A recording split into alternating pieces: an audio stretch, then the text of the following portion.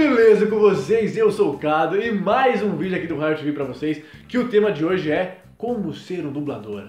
Hum, interessante, hein? Mas ó, antes de começar esse vídeo, eu tenho dois recados pra vocês, beleza? Aguenta aí. O primeiro recado é lógico, né? Pra vocês se inscreverem, compartilharem, curtirem, comentarem e essas coisas todas aí, né? Beleza. O segundo recado é, eu dei uma entrevista ao programa depois da aula e nesse programa eu falo sobre como eu criei a Raio Filmes, sobre o canal, sobre como tudo começou. E quem tiver interessado em assistir esse vídeo da entrevista, é só clicar aqui embaixo que vai estar lá, beleza? Beleza. Agora vamos lá pro vídeo, galerinha! Como ser um dublador? Antes de qualquer coisa, para dublar, você precisa ser ator. O que, que, tem uma coisa a ver com a outra? Eu quero dublar, para que, que eu tenho que ser ator? Tem tudo a ver, cara. Para você dublar, você precisa interpretar. Para você interpretar, você precisa ser ator.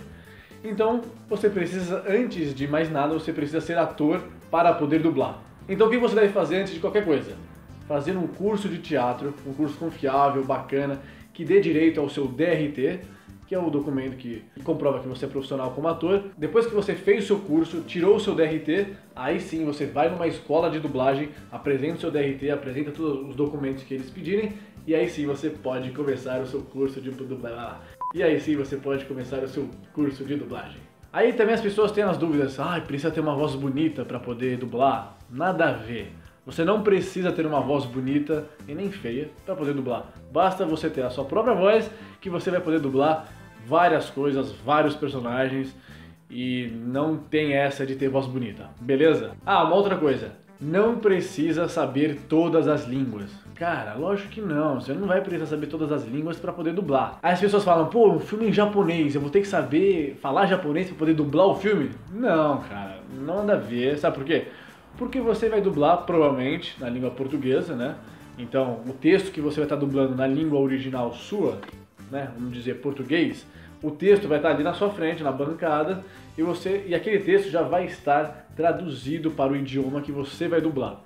Então, não importa qual que seja o áudio original do vídeo, do filme, do desenho que você está dublando, porque você só vai simplesmente escutar o áudio original e aí basta você, obviamente, interpretar, porque dublagem, ser um dublador não basta ler, não basta colocar boquinha por boquinha, tem que ter interpretação.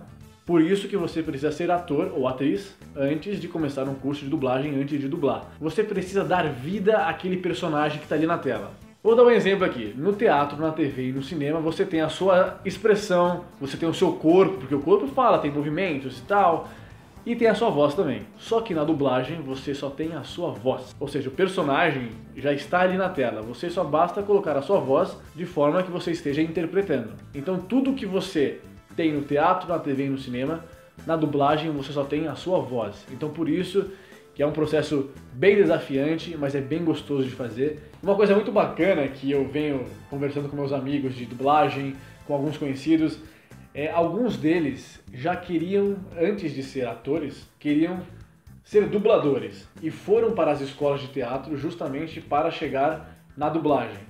O meu caso foi diferente, eu nem sabia que era dublagem, eu nem sabia que eu queria ser dublador, então eu comecei ao teatro com 14 anos de idade para ser ator, para fazer TV, cinema e teatro.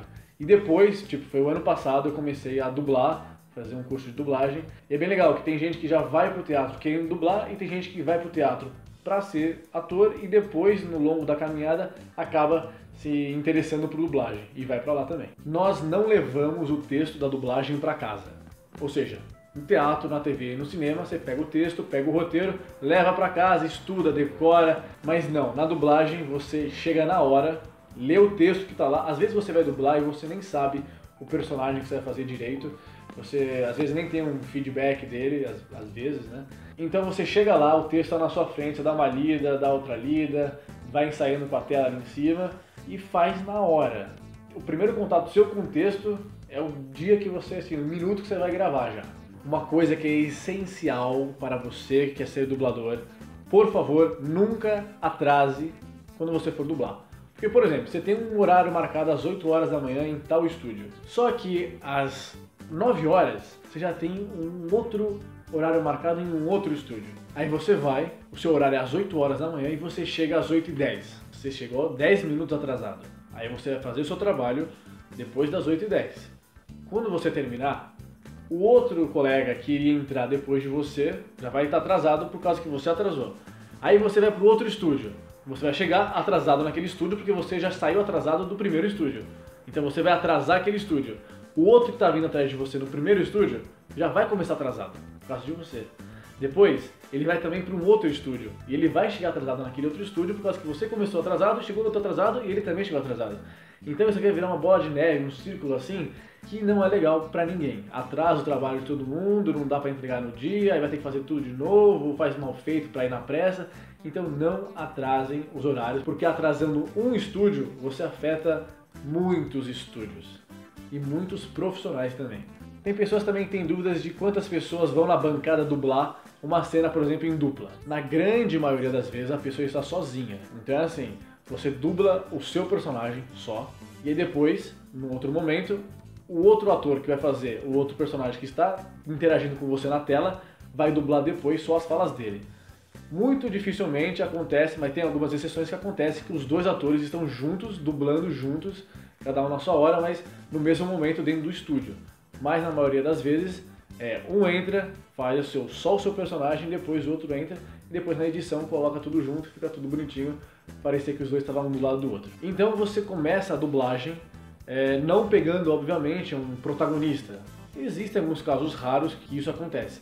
Mas você já começa no seu trabalho profissional na dublagem é, pegando algumas pontas, sabe aquele, aquele personagem que tem uma pequena fala ali num canto, ou depois ele volta num outro capítulo, no final do filme, dando uma outra falinha, ou às vezes tem uma fala mesmo no filme inteiro, então.